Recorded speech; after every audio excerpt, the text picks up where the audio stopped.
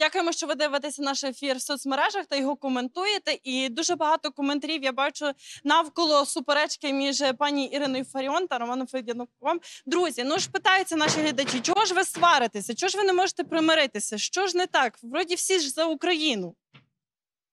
Знаєте, мені також дуже дивно, що пані Ірина настільки, настільки сильно емоційно відреагувала, тому що, можливо, вона не пригадає, але е, ми все-таки стояли на, разом на одній сцені на Майдані 22 листопада, і тому мені дуже прикро про таке говорити, тому що я тут сижу не тільки як представник команди Зеленського, е, команди Зеленського, а ще як представник студентського майдану у Львові. Тому мені насправді е, для мене, знаєте, показовим був той факт, коли в один момент студенти вийшли на Львівський Євромайдан, і пані Ірина, я не пригадаю, ще разом з місцевими депута- депутатами прийшла е, на Євромайдан разом зі стягами Всеукраїнського об'єднання Свобода. І тоді, і тоді на той час студенти вийшли і сказали, що ми відмовляємося ставати під свободівські прапори. І так тоді студенти і зробили. І не станемо. І не станемо ніколи. Росії.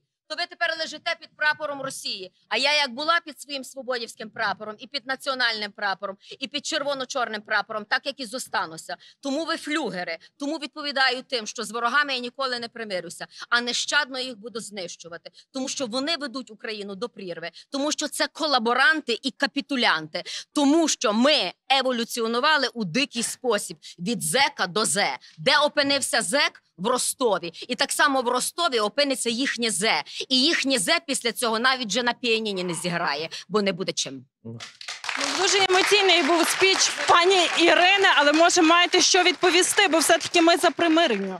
Знаєте, єдине, що я можу сказати, що цей ефір був би дуже сумним без пані Ірини, тому не можу нічого відповісти. Зі своїм нулячим інтелектуальним рівнем ліпше лягайте під прапор Зеленського і грайте в КВН. Це є ваша місія і ваша функція. Ну, от такий у нас вийшов ще одна суперечка в ефірі, але є ще запитання до вас, е, вже як до представника команди Володимира Зеленського. Як будете розслідувати, як може Володимир Зеленський, партія Слуга народу бачить розслідування злочинів Майдану? Зовсім коротко, будь ласка. Е, Ви знаєте, насправді е, це є важливе питання. Також хотів тут озвучити. Це стосується безпосередньо Генеральної прокуратури. І е, на сьогоднішній день генеральний прокурор Іво Шапка він має дуже великий кредит довіри від президента. І це є те питання, яке має зараз в нього стояти в питанні номер один, особливо в ці дати, якщо ми зараз говоримо про покарання злочинів майдану. Це є те питання, яке він, як генеральний прокурор, має взяти на особистий контроль, і вони мусять бути розслідувані. І якщо він цього не зробить, тоді неважливо, чи він був поданий президентом, чи підтримує його партія, чи ні. Тоді я вважаю, що до нього питання будуть зовсім по-іншому стояти і набагато набагато гостріше. Дякуємо. Дивіться наш ефір. Я думаю, коментуйте в соцмережах, ставте прямі запитання до гостей нашої студії. Ми продовжуємо сьогодні. Надважлива тема. Згадуємо події майдану та аналізуємо, як їхати до нормандської четвірки.